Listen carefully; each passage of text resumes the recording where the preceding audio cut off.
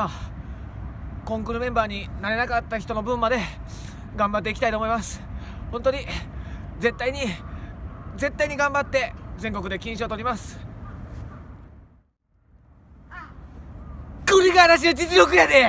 朝練もやってきたし合奏も一生懸命やってきたしあの子よりうちのメンバーにふさわしいんやで。